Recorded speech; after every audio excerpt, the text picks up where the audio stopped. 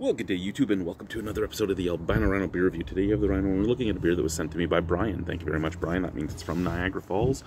This is Snickers Roller from Counterpart. Now, I am a little worried. The reason we're outside is the last roller blew up on me, and this one is rather tight. It's taut like a tiger.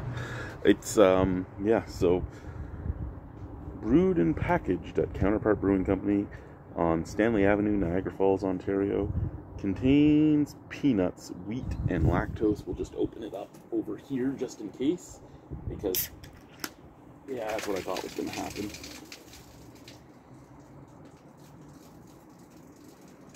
That's what I thought was going to happen. It was, it's still going.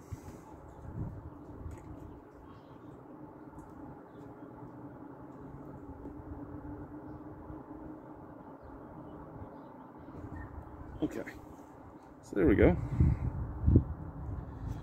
We're just holding it over here still. So we lost quite a bit of the can. I love that the zombie made it without a problem, but the, the two stouts did not. That's not the way this normally goes. Uh, black is the black blood of the earth. Nice mocha head. Nice snap crackle pop. That window behind me was the window was one of the reasons I wanted to get started on the painting today.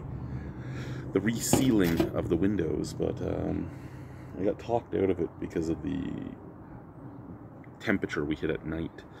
So um, yeah, scent out of the glass.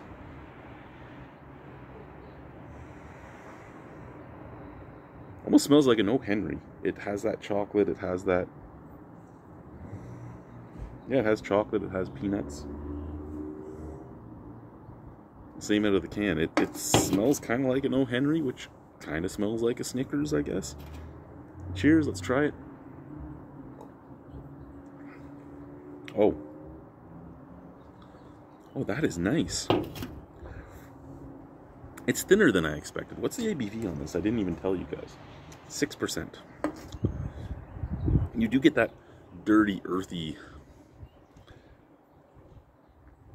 feeling that you would get from like eating peanuts. It's like that drying, almost dirty sensation at the back of the back of the palate.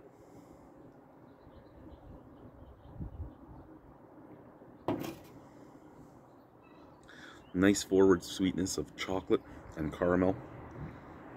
And then that drying peanut on the back end. This is a really solid beer. I can't I can't badmouth this beer. I mean, it looks dirty. It blew up on me. But it's a really solid beer. That's that's easily mm, an 825 out of 10. I don't think it's the best roller they've ever made. I don't think it's the best beer I've had, but it's a solid beer. Thank you guys for watching. 825 out of 10. Bye.